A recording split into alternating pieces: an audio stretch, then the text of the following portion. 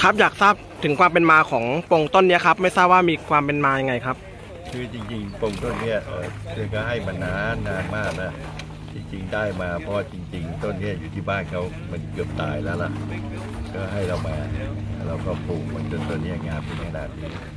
นานมากแล้ว และจริงๆเนี่ยเป็นเหลืออยู่ในโลกมีแค่ 20 ต้น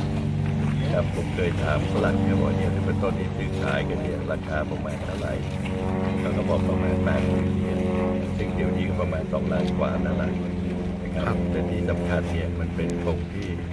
คนอื่นไม่ค่อยมีกันแล้วเราก็โชคดีที่เรามีที่ปลูกต้นนี้อยู่ในครอบครองเรา ตอนนี้ถือว่าเราเขาก็ยอมรับให้เราแล้วว่าเรามากที่สุดในโลกสำหรับประเทศไทยเราเนี่ยครับ ครับ ปัจจุบันมีอยู่จำนวนกี่ต้นครับพันเนี่ยครับ ในโลกตอนนี้เขาบอกมีประมาณ20ต้นนะครับแต่ที่นี่มีอยู่ต้นเดียวใช่ไหมครับ มีอยู่ต้นเดียวครับครับ ในต้นเดียวก็ถือว่าโชคดีที่สุดแล้วครับ ครับ